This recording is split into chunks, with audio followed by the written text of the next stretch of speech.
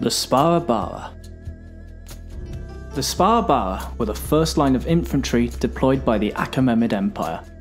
Also known as apple bearers because of a large counterweight at the end of their spears, the Sparabara would become the most prominent and famous type of infantry deployed by the empires of the East.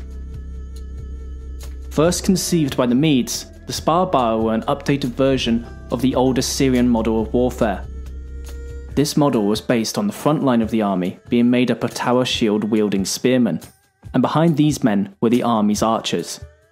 The Medes and Persians simply increased the number of ranks the spearmen protected, making the Persian volley even more devastating than the volleys of their foes. Trained from a young age, the Sparabara were made up of the Persian citizenry, who would leave their farms and other professions to fight in a unit during the campaigning season.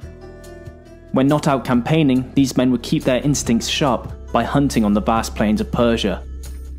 As a result of this, they lacked the professional training of their counterparts in the Greek armies, who more often than not had dedicated full time soldiers serving in their armies.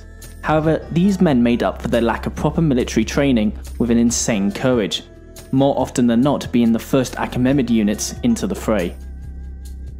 In terms of armour, the Sparabara were known for wearing extremely light armour. This was usually in the form of a padded vest, which provided a surprisingly large amount of protection for the wearer. This had several benefits over the heavy armour. For one, it allowed the Sparabara to be even more mobile than their foes, as they were not weighed down by heavy armour.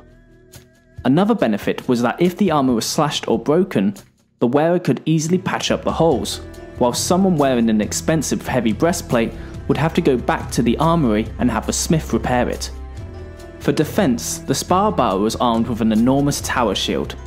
This shield was made up of tough wicker, which provided surprisingly adequate protection against the mainly missile based armies of the East. However, tough as it was, it was still not resilient enough when pitted against the heavy weapons and soldiers of ancient Greece.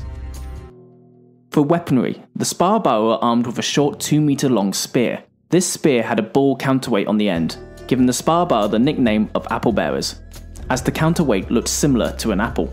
However, despite being a pretty standard size for spears, it was not long enough to fend off the tightly packed spears of the Greek phalanx. After the conquering of the Achaemenid Empire by the Macedonians, the Sparabara as a unit disappeared from history. However, the actual infantry did not, with the basic concept of weapons and armour being utilised for centuries to come.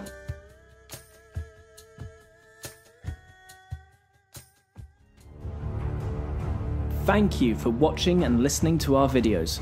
Be sure to like, comment and subscribe if you've enjoyed, or if you really like the channel, consider supporting us on Patreon. There, for as little as $1 a month, you'll gain access to an ever expanding variety of exclusive Ancient History Guy content not found anywhere else online. All donations go directly back into the channel, helping us on our campaign to conquer YouTube. All sources are listed and linked in the description below. I've been the Ancient History Guy, and as always, I'll be seeing you later.